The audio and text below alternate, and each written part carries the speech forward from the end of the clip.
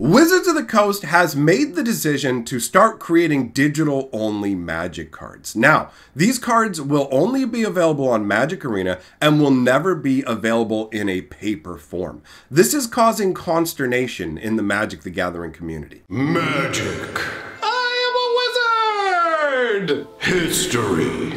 I'm an old wizard! The magic historian. My bones hurt. Greetings! Owners of fine luxury cardboard rectangles. My friends, we are here today to talk about the digital card scenario. And funnily enough, we're a little bit ahead of schedule with this because Wizards of the Coast accidentally announced this plan a few days ago in a brief moment where the announcement that they had created, which was originally supposed to release on the 26th, so basically tomorrow, well, instead, it got released ahead of time. People screenshotted it. So even though Wizards of the Coast went ahead and made it private again, and we'll wait until tomorrow for the official announcement, we have a scenario where everybody already knows we're going to be getting digital only magic cards. It's to the point, actually, where people who represent Wizards of the Coast, like Mark Rosewater, are already having to field questions from people about it. And that's no surprise, right? Mark Rosewater is one of the people that Magic players turn to when they have have concerns that they want to express or questions that they want to like get clarification on. So,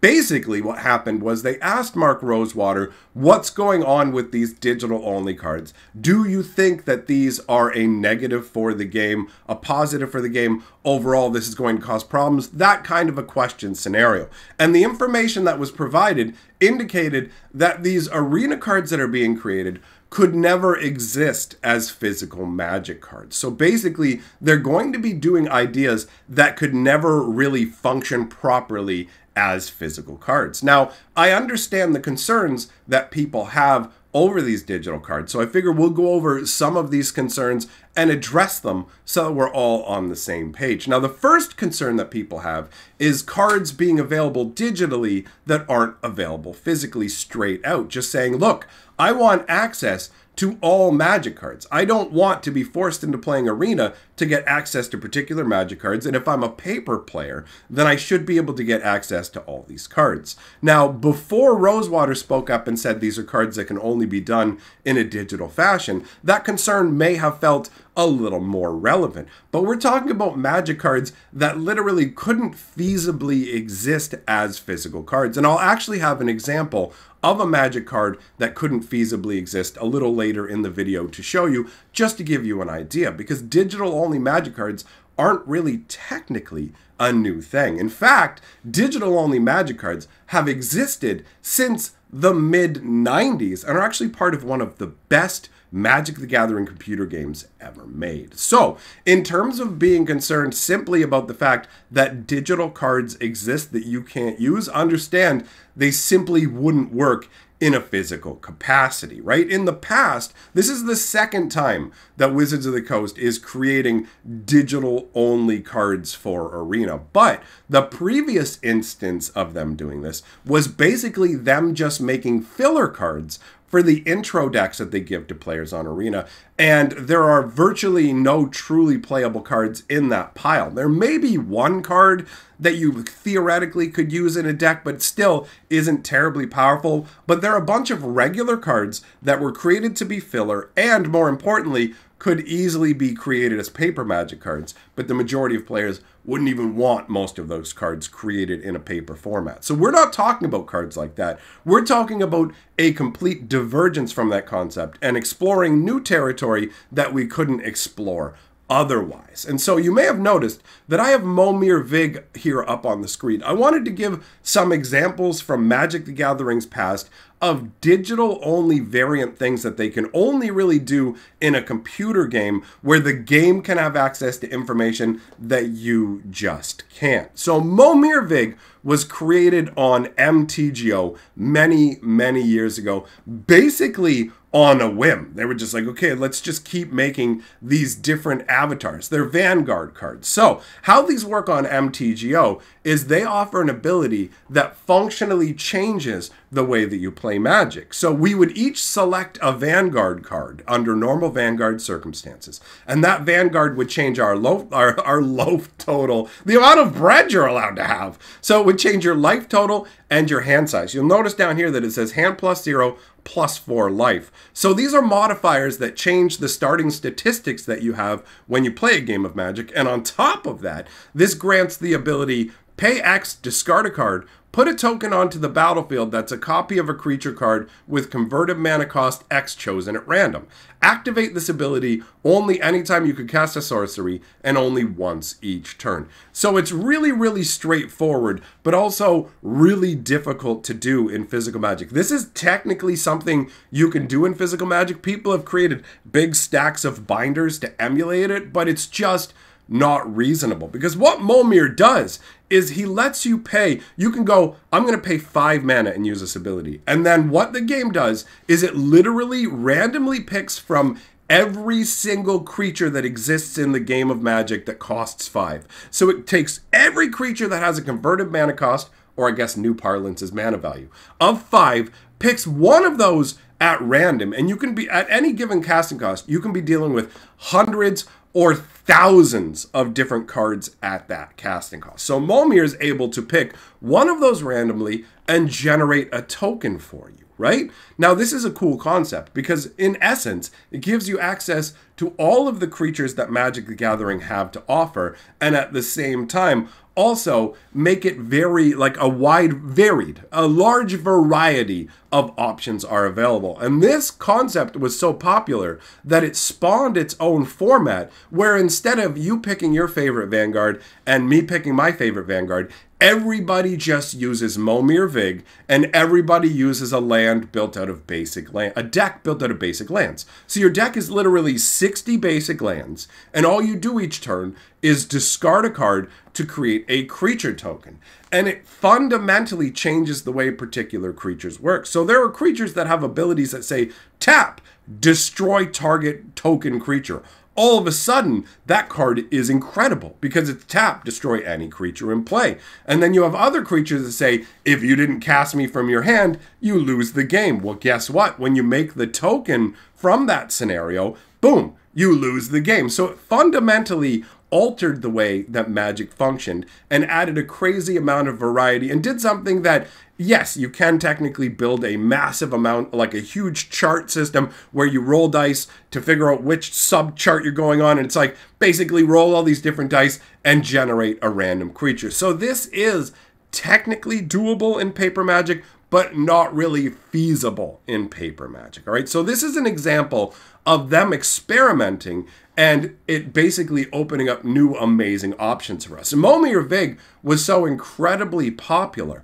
that the price of the Vanguard on the secondary market kept climbing upwards to the point where Wizards of the Coast just made the decision to make an automatic include for everybody to have one. And even further than that, if you're somebody who plays Arena, you may recall that they actually brought Momir Vig to Arena as well in a couple of different variations where sometimes they changed up your deck from just being basic lands to having planeswalkers and other stuff in it, which made it a little bit wonkier and I didn't like that as much, but that's just a minor tweak. This is just an example of how getting experimental with concepts can lead to some really interesting things that just can't be done in physical magic, right? So that's one of the concerns that people have.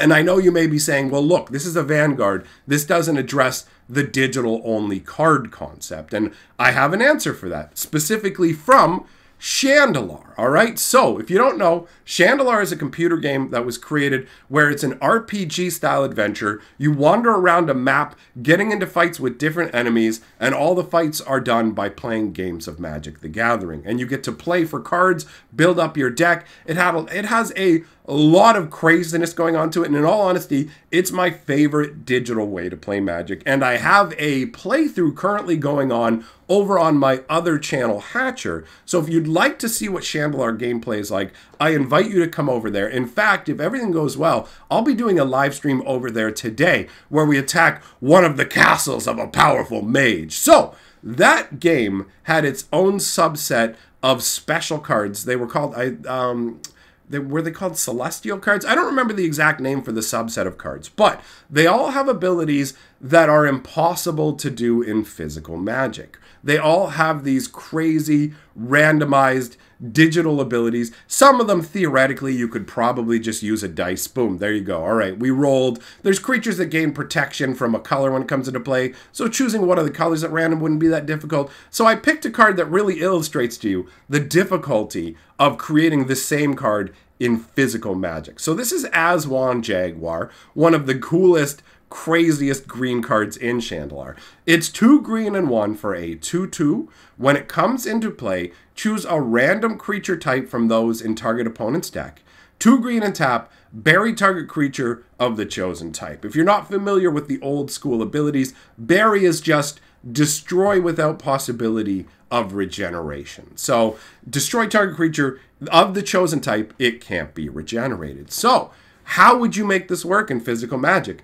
It's not possible without making the game unfair. And also adding a level of tedium to the game, right? Basically, what would happen is if I sit down and we're about to play a game of Magic and I'm trying to use Aswan Jaguar, I have to say to you at the beginning of the game, I'm using Aswan Jaguar and show you the card. Now let me see your deck. And then I have to go through your deck and I have to see every creature type that you have. And then I have to note down every different creature type and create a randomized system. Now what happens if you have if you have something even like let's say you luck sack and there's only six different creature types in your deck.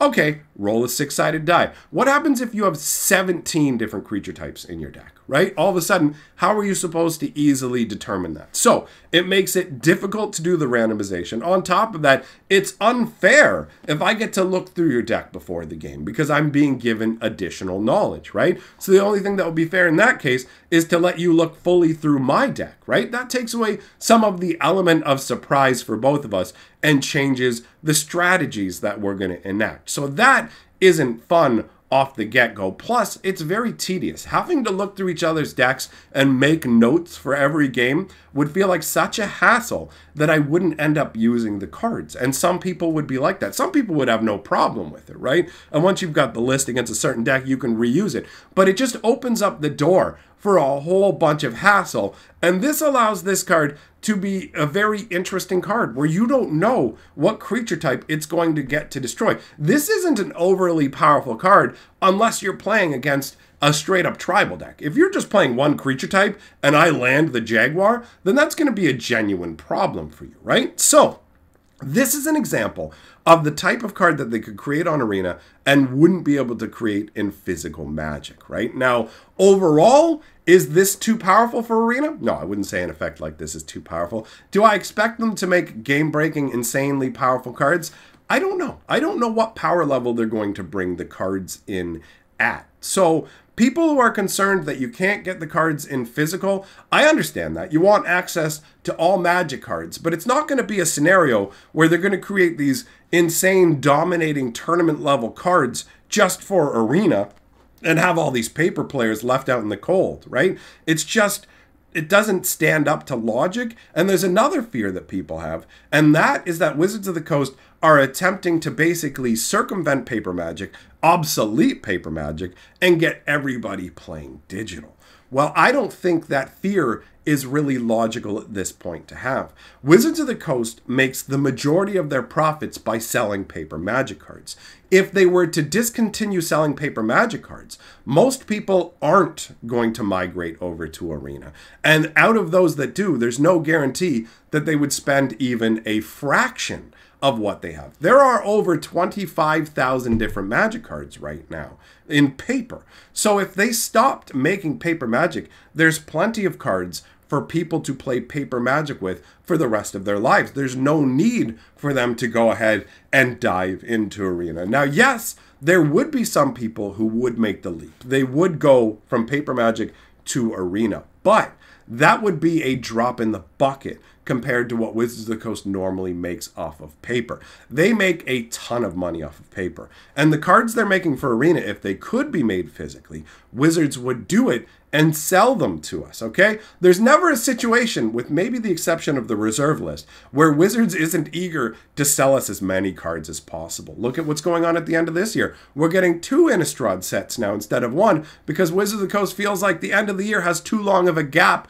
without new Magic cards. So if you're concerned that this is going to lead to the end of paper Magic and people migrating over to Arena, it's not going to happen. And even Wizards of the Coast has realized their dream of Arena being the big go to location isn't going to happen. They're no longer trying to draw in arena streamers the way they were before. They've disbanded basically the arena, the official professional arena league has been disbanded. It's done with. The the words the words on the street straight from the company itself is that arena is never going to be the ultimate magic experience. They know that nothing will ever take the crown from paper magic. So rest assured that even though these digital cards are coming, it is no threat to Magic the Gathering paper. All right? So, from my opinion, the concerns about the end of paper magic aren't really well founded, but I can understand people who want to be able to play all of magic cards